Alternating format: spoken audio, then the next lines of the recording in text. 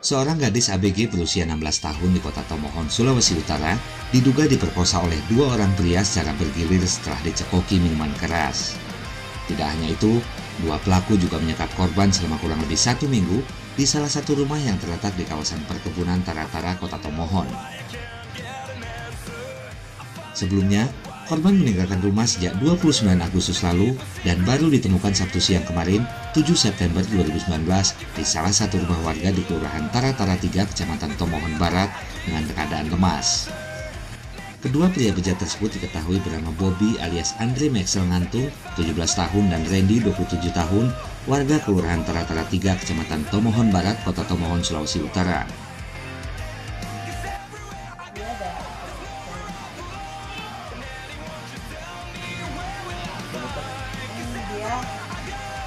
Dia ke ilang toko sampai malam.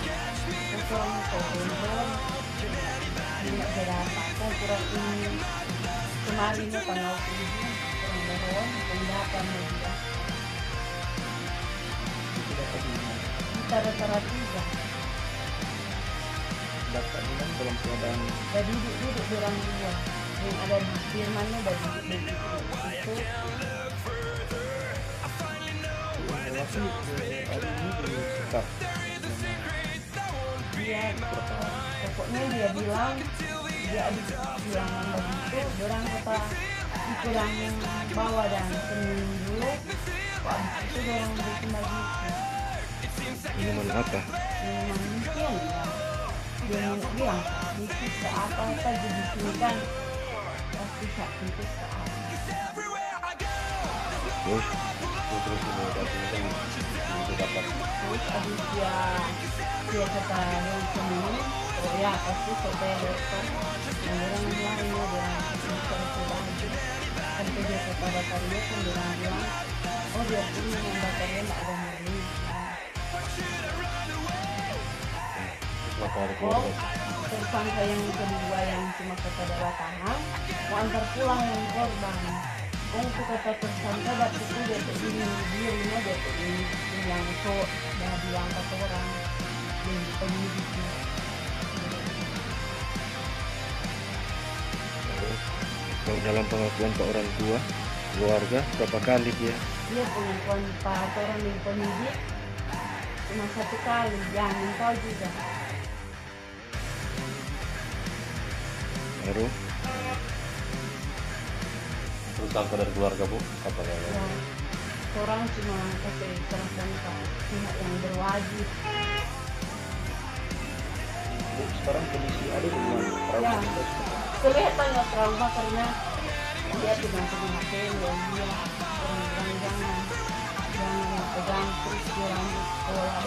Aku dia nanti kalau kamu mau apa di sekolah. Nanti terang bilang apa kalau terang dia nanti bawa pihak yang berwajib saya saya akan serahkan ke karena dia yang nak kasih yang istilahnya suka sama suka dia dipaksa Ke visum kapan dilaksanakan? Hari Senin besok. Bersama dikawal polisi?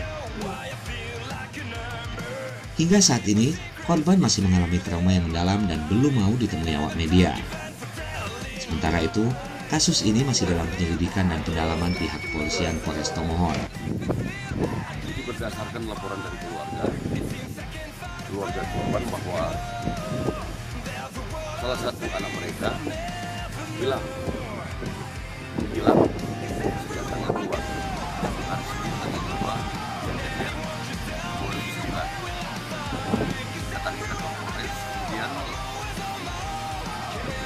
dari kami memerintahkan tim Totosik. Berjuluk Totosik. Mendatangi dan menyelidiki atas laporan tersebut. Kemudian mendatangi salah satu rumah.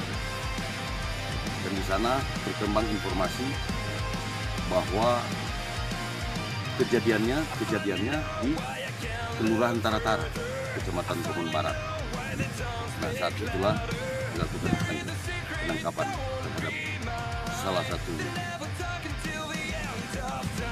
terduga yang bernama MS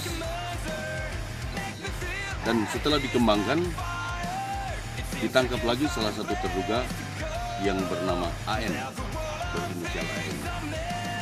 Kronologisnya setelah diperiksa, menurut keterangan korban bahwa sejak jam 18 hari Senin tahun 2019 tanggal 2 September bahwa dia dijemput oleh terduga MS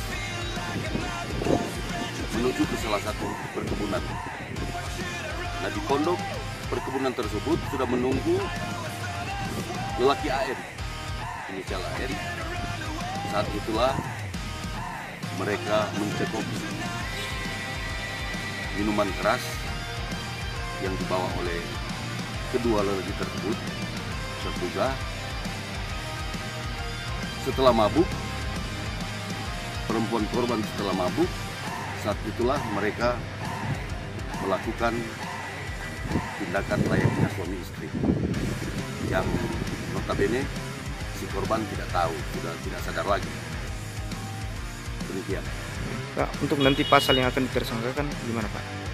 Nah itu nanti dikoordinasikan ke pemeriksa dan ke satreskrim dan sekarang ini dua terduga sudah berada di pihak kami Artinya kasus ini masih dalam pendalaman ya Pak? ya dalam pemeriksa Oke. Dari kota Tomohon, Provinsi Sulawesi Utara, Kelvin Limpek, Jackson Lacanggung melaporkan untuk Today TV Indonesia.